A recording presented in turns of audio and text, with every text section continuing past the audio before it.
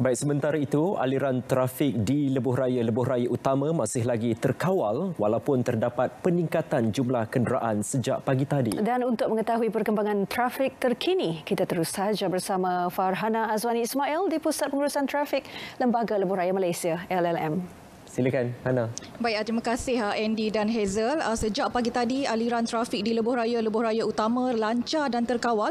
Cuma ada ah, beberapa lokasi di Lebuh Raya yang bergerak perlahan sebab berlaku kemalangan kecil namun tidak melibatkan penutupan lorong utama ataupun mengganggu laluan trafik di Lebuh Raya.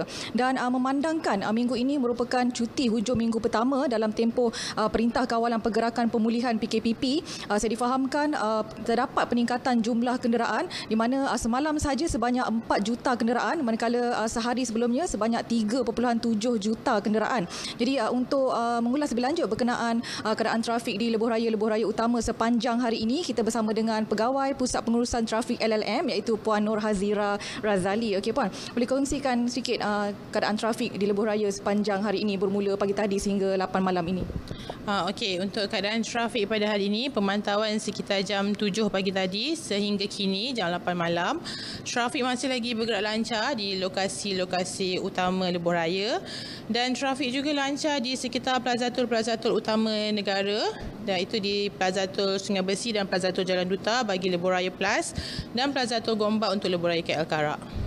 Puan, uh, memandangkan untuk perjalanan pergi uh, pengguna ada pilihan nak bergerak uh, malam tadi ataupun hari ini. Uh, adakah esok uh, ada jangkaan uh, berlaku kesesakan sebab uh, kebanyakannya dah bermula kerja hari Isnin kan? Uh, Okey.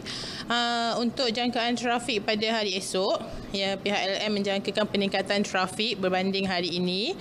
Uh, dan um, trafik mungkin bergerak perlahan uh, dari sebelah petang sehingga ke lewat malam.